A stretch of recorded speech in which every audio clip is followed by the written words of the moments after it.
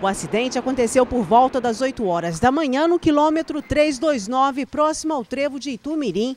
Essa carreta de Duque de Caxias, Rio de Janeiro, carregada de soro, foi parar no barranco. É, o que aconteceu foi desviar de um buraco e caiu no outro e desgovernou a direção e saiu fora da pista. Segundo a polícia rodoviária, o trecho é perigoso por causa da curva acentuada depois da ponte.